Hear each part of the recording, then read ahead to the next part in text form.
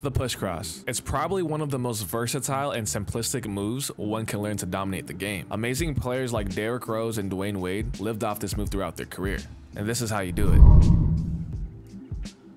It's easier than you think. Personally, you don't have to be crazy fast for this move. You just need to know when to shift your gear from slow to fast. A great example would be Nikola Jokic going from really slow to slow. But seriously, you don't have to be fast to do this move. You just need to know when to change your pace from slow to fast. The setup. When setting up this move, you could do it in numerous ways. The most effective way to do this move is either splitting the screen in the pick and roll when the big switches or a slower defender is guarding you, rejecting the screen, and when the defender relaxes. But you can do this move in any situation, this is just what worked for me. When doing this move, you want to make sure your eyes and body are looking and leaning towards the opposite direction of where you're going to cross. For example, if you're going to the left, then your eyes and body should be facing towards the right and looking in that general direction. When you notice your defender relaxing, that's when you should cross. When you initially cross, it's going to be from right to left. A great example of this is a dance move called the whip. I know it's sort of cringe, it's 2024, but that's how the movement is. You're pushing the ball across your right side to your left. It's like the name, push cross. The footwork is pretty simple.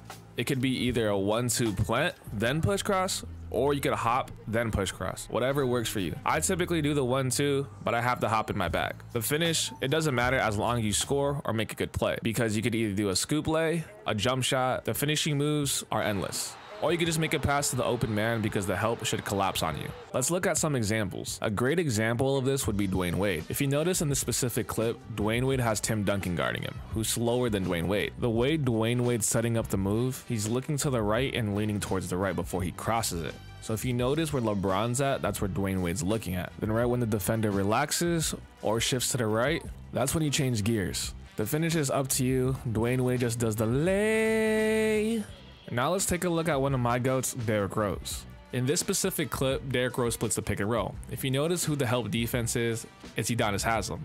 Udonis Haslem isn't the fastest, but Derrick Rose is probably one of the quickest guards in the league during this time. So what he does, he goes to the right, and if you notice Udonis Haslem is helping a lot more or hedging, Derrick Rose's body positioning and his eyes are leaning towards the right, which allows Udonis Haslem to react to him and slightly relax, which allows Derrick Rose to do the push cross and get him off balance, which allows him to split the defense. Derrick Rose's footwork is 1-2. Then the finish, I don't care, but for this instance, Derrick Rose literally just jammed on Joel Anthony.